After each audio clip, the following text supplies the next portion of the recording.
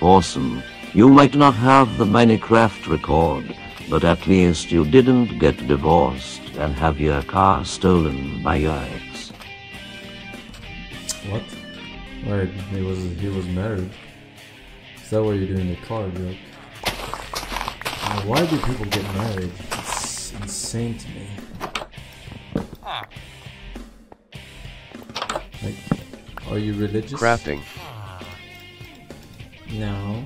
Forsen, there are other other reasons to do it too. Crafting. I get five dollars cheaper taxes with kids if you marry or some shit. Yeah, that's worth.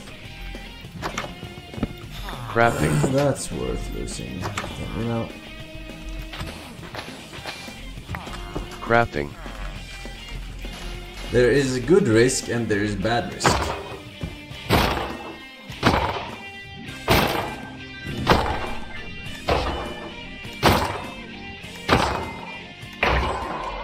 Zoomer slowly.